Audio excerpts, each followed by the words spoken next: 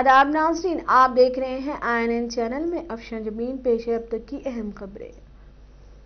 वज़ीर अजम नरेंद्र मोदी ने कहा है कि खुद इन्हिसारी हिंदुस्तान मुहिम गरीबों, किसानों, मजदूरों और मुतवसत तबके के मुस्तबिल की तैयारी का ज़रिया बन रही है। मोदी ने पंडित दीनदयाल उपाध्याय की बरसी के मौके पर बीजेपी के मेंबरान पार्लियामेंट से खिताब करते हुए ये बात कही। उन्होंने कहा कि बुनियादी ढांचे के मैदान में रोनुमा होने वाली तब्दीलियों से शहरियों की ज़िंदगी आसान होगी। वज़ीर आज़म ने कहा, हिंदुस्तान आलमी सतह पर तेज़ी से आगे बढ़ रहा है और हर हिंदुस्तानी को इस पर फख्र है। उन्होंने कहा, हमारी सियासत में कौम के लिए पॉलिसी अहम है। उन्होंने कहा, दीनदयाल उपाध्याय के नजरियात मुतासर कुन है। वजी अजम ने कहा, पूरा मुल्क आत्मनिर्भर भारत के ख्याल से वाकिफ हैं। उन्होंने पार्टी की हर कारकुन से अपील की कि वो पचहत्तर ऐसे काम करें जो हिंदुस्तान की आज़ादी के पचहत्तर सालों को खराज तहसीन पेश करने के लिए बेहतर हों। मोदी ने कहा, हिंदुस्तान ने डिजिटल लेन देन के हवाले से नए रिकॉर्ड तख्लीक किए हैं। उन्होंने कहा कि नई टेक्नोलॉजी को अपनाने की वजह से गरीब और नादार अफराद को इनके मुनासिब रकम बराह रास्त अपने बैंक खातों में मिल रही है। हर माह हिंदुस्तान डिजिटल तौर पर चार लाख करोड़ रुपए से ज़्यादा के लेन देन कर रहा है। मानवता के कल्याण की बात होगी, दीनदयाल जी का एकात्म मानव दर्शन प्रासंगिक रहेगा ही रहेगा। एकात्म मानव दर्शन में विशेष रूप से इन तीन शब्दों में, व्यष्टि से समष्टि की यात्रा व्यक्त होती है, स्वार्थ से परमार्थ की परमार्थमार्थ की यात्रा का मार्ग स्पष्ट होता है। और मैं नहीं, तू ही का संकल्प भी सिद्ध होता। है साथियों हमारे यहाँ कहा गया है स्वदेश से पूज्यते राजा स्वदेश से पूज्यते राजा, विद्वान सर्वत्र पूज्यते। अर्थात, सत्ता की ताकत से आपको सीमित सम्मान ही मिल सकता है। जहाँ सत्ता की ताकत प्रभावी होगी वहीं सम्मान मिलेगा। लेकिन विद्वान का सम्मान हर जगह होता है। दीनदयाल जी, इस विचार के साक्षात जीता जागता उदाहरण है। उनका एक एक विचार, उनके एक एक शब्द, उन्हें वज़ीर दिफा राजनाथ सिंह ने आज मुताला किया कि हिंदुस्तान और चीन मशरक लद्दाख में पंगांग झील के शुमाली और जुनूबी किनारे पर फौजों को पीछे हटाने पर तैयार हो गए हैं। राज्यसभा में बयान देते हुए सिंह ने यकीन दिलाया कि चीन के साथ मुजाकिरात की, कौम की हमत अमली, आला तरीन सतह पर वज़ीर अजम नरेंद्र मोदी के इस अज़म के मुताबिक है कि हिंदुस्तान अपनी सरजमीन की एक इंच भी नहीं देगा। वज़ीर मौसूफ ने कहा कि मजाकिरात के दौरान हमारे पुख्ता इरादे और मौकफ के नतीजे निकले हैं। समझौते की तफसीत बताते हुए सिंह ने मुताल किया कि दोनों फरीक अपनी फॉरवर्ड तैनाती को मरहलावार मरबूत और मुसदा अंदाज में बंद करेंगे। उन्होंने कहा कि चीन के फौजियों की शुमाली के फिंगर एट किनारे के इलाके मशरक तक मौजूद रहेगी। कि फिंगर एट इसी तरह भारतीय फौजी नज़दीक धुन सिंह थापा पोस्ट पर अपने मुस्तकिल ठिकाने पर रहेंगे। वज़ीर दिफा ने कहा कि जुनूबी किनारे के इलाके में भी दोनों फरीक इसी तरह की कार्रवाई करेंगे। उन्होंने कहा कि ये बाहमी और दो तरफा इकदाम हैं और शुमाली और जुनूबी किनारे से इलाके में अप्रैल 2020 से दोनों के बनाए गए तमाम ढांचों को हटा दिया जाएगा और ज़मीन की शक्ल बहाल कर दी जाएगी। जनाब सिंह ने इतला दी कि शुमाली किनारे में दोनों फरीक फौजी सरगर्मियों को आर्जी तौर पर रोक देंगे, जिसमें रिवायती इलाकों में गश्त भी शामिल है। उन्होंने कहा कि गश्त उसी वक्त फिर से शुरू की जाएगी जब बाद में होने वाले डिप्लोमेटिक और फौजी मज़ाक में दोनों फरीकों में कोई माहदा हो जाएगा।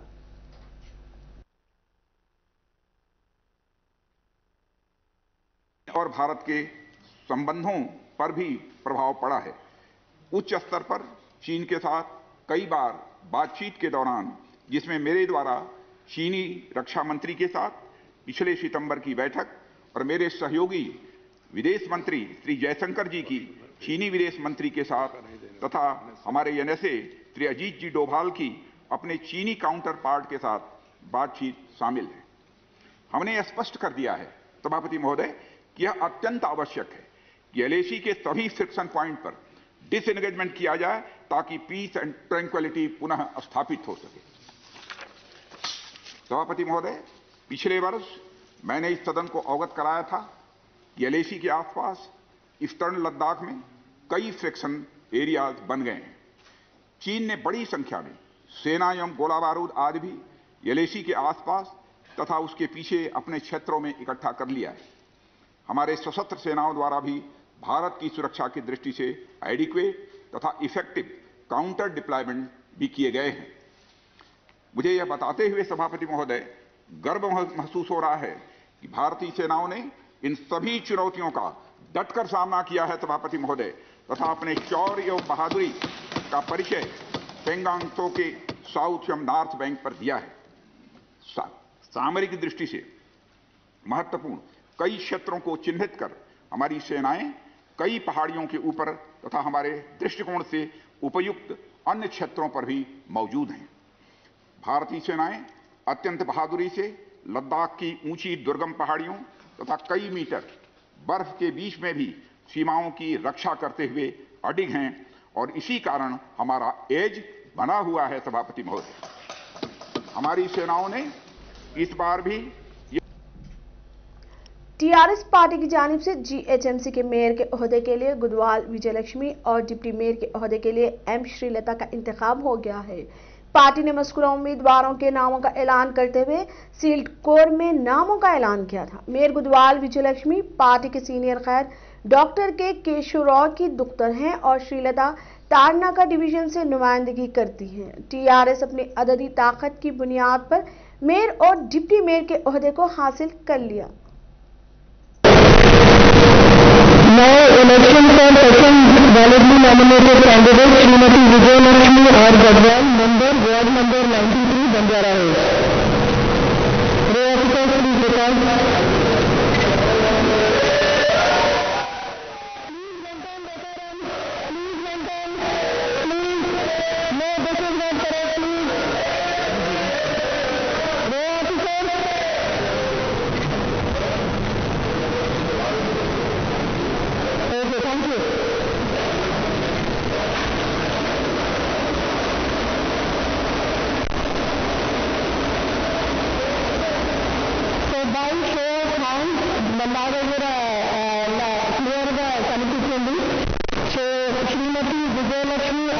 जीते हैं। बड़ी खुशी की बात मैं आनेबल सीएम साहब को मुबारकबाद देता हूँ। सारे तेलंगाना के पार्टी के लोगों को और तमाम आवाम को भी और खासतौर से हैदराबाद के। इस मरतबा बहुत अच्छी तरीके से डेवलप करते हुए हैदराबाद को डेवलप किया जाएगा। और टीआरएस पार्टी के mayor deputy mayor last time जिस तरह इसी तरह इस तरह भी इस साल भी है। हमारे हैदराबाद मेयर और डिप्यूटी मेयर दोनों भी इस वक्त लेडीज़ को मिला है। मैं बहुत खुश हूँ। हमारे बहनों को एक मौका मिला है हैदराबाद के डेवलपमेंट में। उनका काम बताने का मौका मिला है। टीआरएस पार्टी से दो महिलाओं को मिलने के लिए मुझे बहुत खुशी है और ये रिज़ल्ट आने के लिए जो हैदराबाद के भाइयों जीएचएमसी काउंसिल का इजलास मुनद हुआ। प्रिसाइडिंग ऑफिसर श्वेता महांती ने कॉरपोरेटर्स को मुखातिब किया और हल्फ बर्दारी की, बाकायदगी की वजाहत की। ग्यारह बजे दिन श्वेता महांती ने कॉरपोरेटर्स को हेल्प दिलाया। कल एक कॉरपोरेटर्स ने हेल्प लिया। इस मौके पर तेलुगु, हिंदी, अंग्रेज़ी और उर्दू चार जबानों में हल्फ बर्दारी का अमल किया गया था। एमआईएम कॉरपोरेटर्स ने उर्दू में हल्फ लिया। वाज रहे कि जुमेरात की सुबह दारुसलाम में एमआईएम कॉरपोरेटर्स ने सदर मंदिर असदुद्दीन अवैसी से मुलाकात की। पार्टी के सरबराह असदुद्दीन अवैसी ने कॉरपोरेटर्स को वोटिंग के अमल की तफसीलात से आगाह किया। मंदिर पार्टीज़ के चौवालीस कॉरपोरेटर कॉरपोरेटर्स और 10 सबका मेंबर हैं। इसमें मजमूरी तौर पर चौपन अरकान हैं।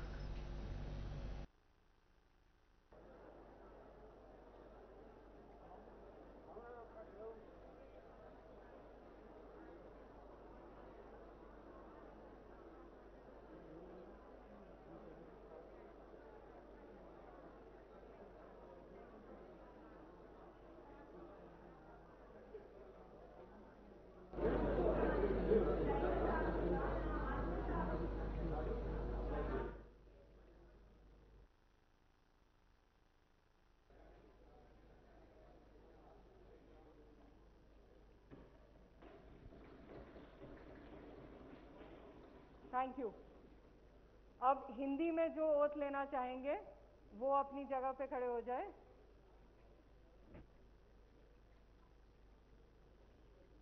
मैं बोलते ही आप शुरू हो जाइएगा। मैं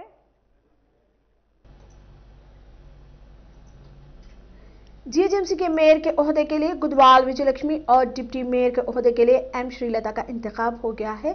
इस मौके पर नए मेयर और डिप्टी मेयर को तमाम सियासी हलकों से मुबारकबादियों का सिलसिला भी शुरू हो गया।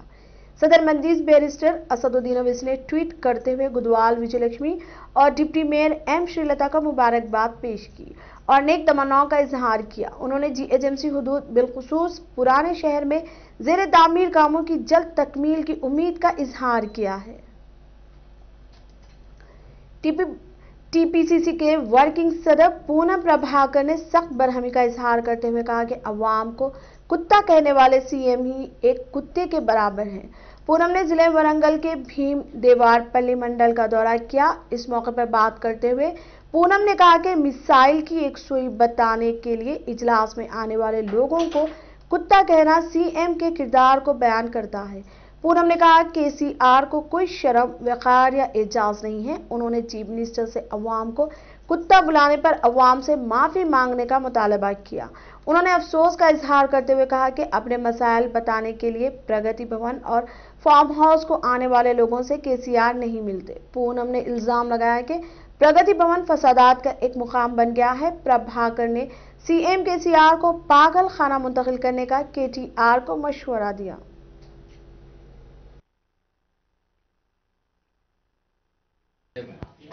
చాలా అసహనం పెరిగిపోయింది అహంకారం పెరిగిపోయింది.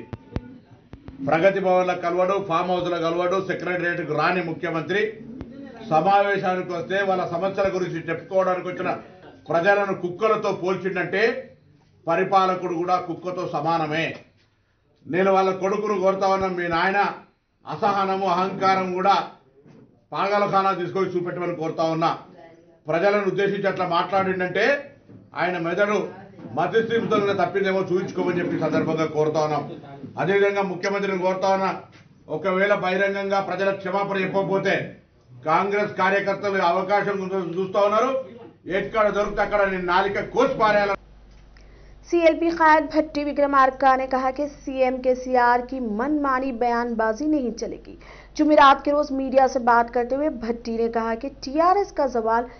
नागार्जुना सागर के जिमनी इंतखाब से होगा।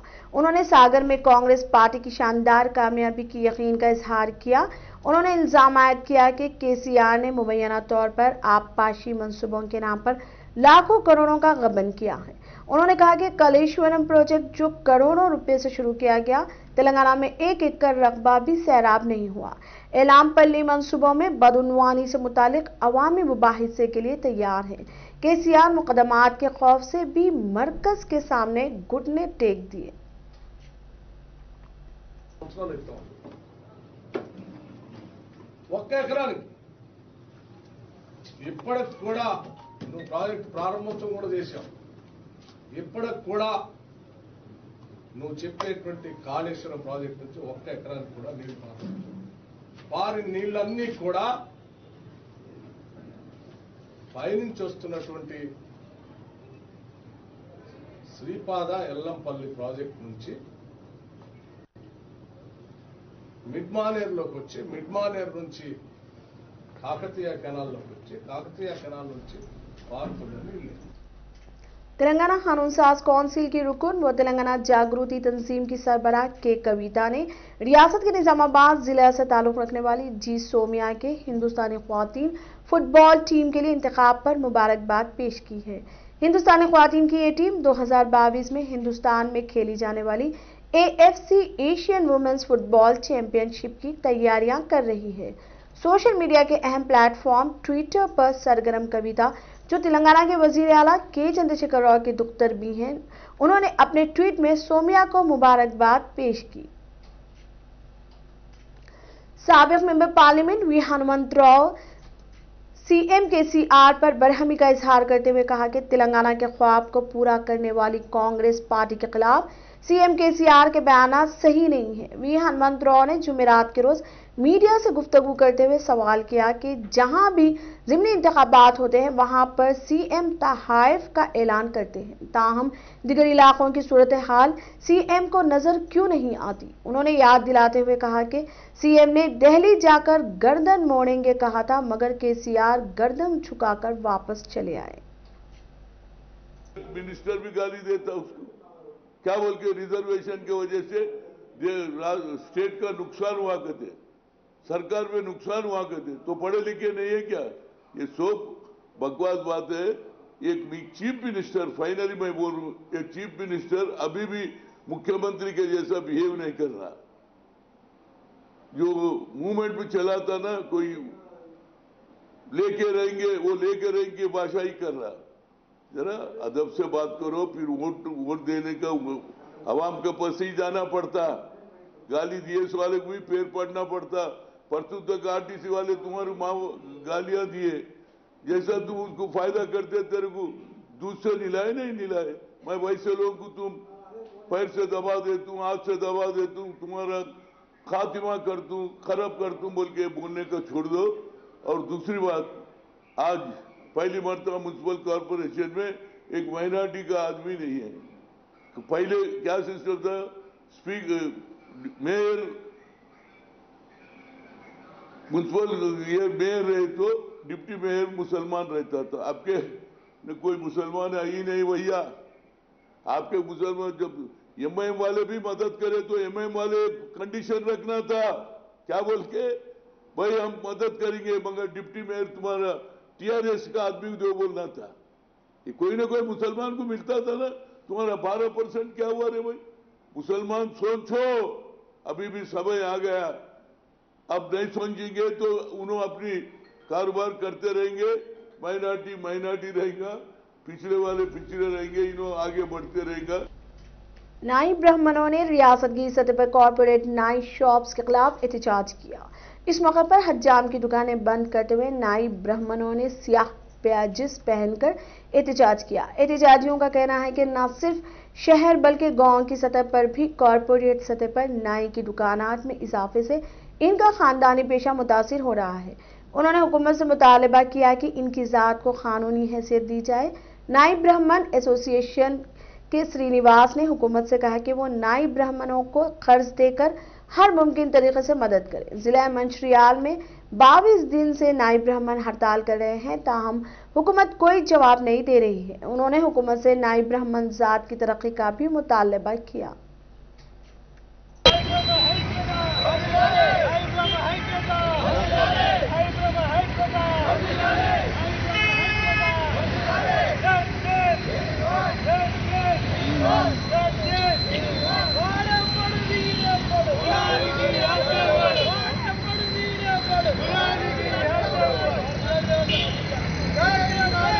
Nadie sale!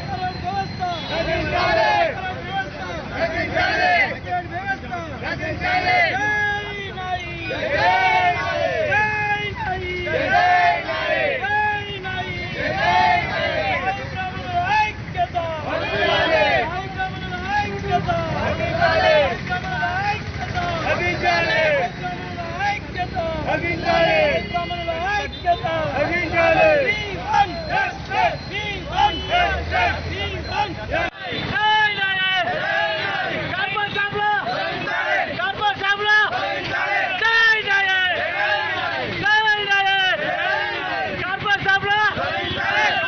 నాడు మా రాష్ట్ర సంఘాలన్నీ కూడా బంద్ కాల్ ఫార్వర్డ్ చేసినాయి ఎందుకంటే